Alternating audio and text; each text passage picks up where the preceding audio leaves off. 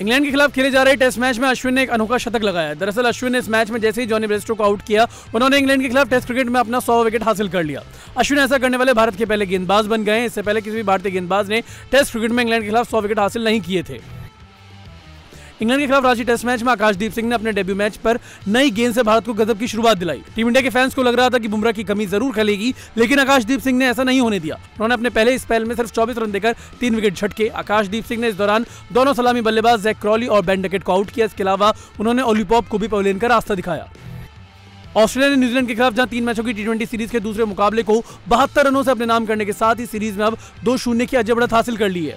वहीं इस मुकाबले में ऑस्ट्रेलिया टीम के स्टार ऑलराउंडर खिलाड़ी ग्लेन मैक्सवेल ने भी एक बड़ी उपलब्धि अपने नाम कर ली, जिसमें वे टी इंटरनेशनल में ऑस्ट्रेलिया के लिए सबसे ज़्यादा छक्के लगाने वाले खिलाड़ी बन गए। हालाँकि इस मैच में ग्लेन मैक्सवेल कुछ बल्ले से खास कमाल नहीं कर पाए और चार गेंदों में सिर्फ़ छह रन बनाकर पवेलियन लौट गए। इंग्लैंड के स्टार खिलाड़ी जो रूट ने भारत के खिलाफ दमदार शतक जड़ा, रूट टेस्ट क्रिकेट के इतिहास में भारत के खिलाफ सबसे ज़्यादा शतकीय पारी खेलने वाले खिलाड़ी बन गए। जिसमें उनके नाम उनतीस मैचों में दस शतक दर्ज है।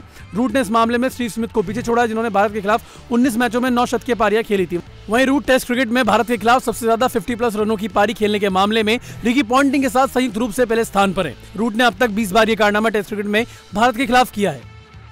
रणजी ट्रॉफी 2023-24 का सीज़न अब नॉकआउट दौर में प्रवेश कर चुका है, जिसमें मुंबई की टीम अपना क्वार्टर फाइनल मुकाबला बड़ौदा के खिलाफ अपने घरेलू मैदान पर खेल रही है।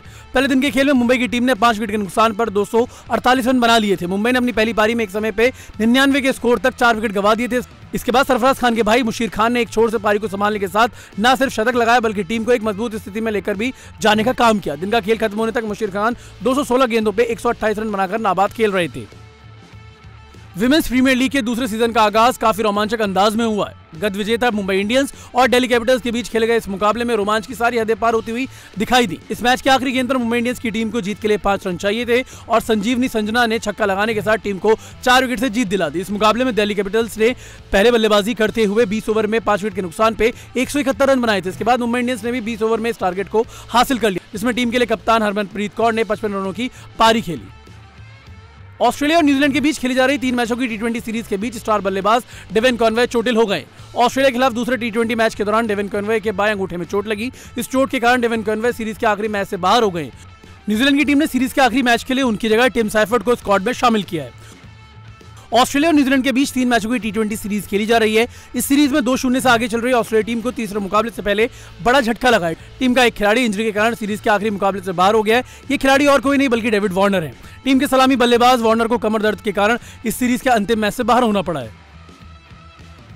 कर्नाटका के पूर्व क्रिकेटर के हौसला ने दिल का दौरा पड़ने के चलते चौतीस साल की उम्र में ही दुनिया को अलविदा कह दिया। मैदान पर जीत का जश्न मनाने के दौरान के हौसला की मौत हो गई।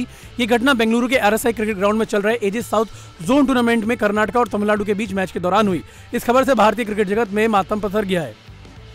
भारत और पाकिस्तान के बीच दुबई में पाँच मैचों की ब्लाइंड फ्रेंडशिप क्रिकेट सीरीज़ खेली जा रही है। सीरीज़ का दूसरा मैच तेईस फरवरी को खेला गया। इस मैच में भारतीय ब्लाइंड क्रिकेट टीम ने शानदार जीत हासिल की। इसी के साथ दोनों टीमों के बीच ये सीरीज़ एक एक की बराबरी पर आ गई है। बता दें इससे पहले कि बाईस फरवरी को खेले गए सीरीज़ के पहले मुकाबले को पाकिस्तान ने अपने नाम कर लिया था। सुनील रमेश और डी वेंकटेश राव के अर्धशतकों के दम पर भारतीय पुरुष टीम ने फ्रेंडशिप क्रिकेट सीरीज़ के दूसरे टी मैच में पाकिस्तान को छियालीस रनों से हरा दिया।